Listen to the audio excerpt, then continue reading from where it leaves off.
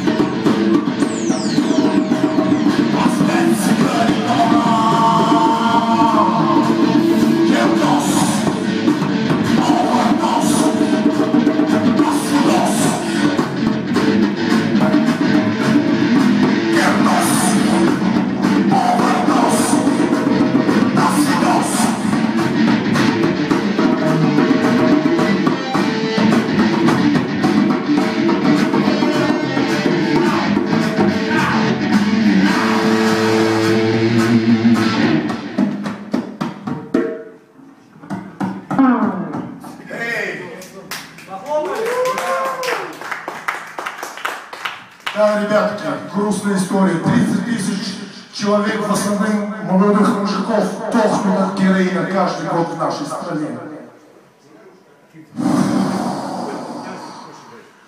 Fucking start.